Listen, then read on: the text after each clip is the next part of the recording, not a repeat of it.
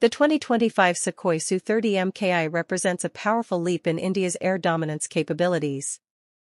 Built through a strategic collaboration between Russia's Sukhoi and India's HAL, this new upgrade marks a significant modernization of the Indian Air Force's frontline fighter. Next-gen avionics and radar.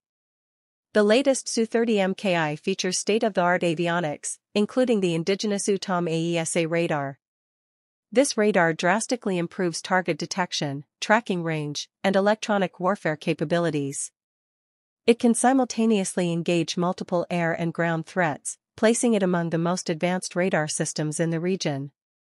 Enhanced Weapons Integration The 2025 variant is equipped to carry the deadly BrahMos A supersonic cruise missile and the new Astra Mk2 and Mk3 air-to-air missiles. This makes it a formidable multi-role platform with unmatched precision strike abilities. Improved cockpit and digital interface.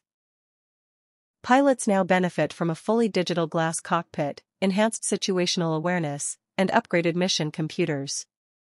The cockpit is also compatible with Indian-made helmet-mounted displays, giving pilots the edge in high-intensity dogfights.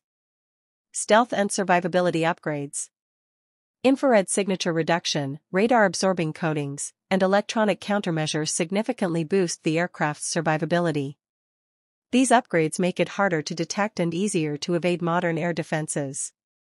Strategic Impact With over 270 units in service and more under upgrade, the new Su-30 MKI strengthens India's deterrence and power projection. It ensures air superiority in any future conflict scenario especially with the added flexibility for indigenous enhancements.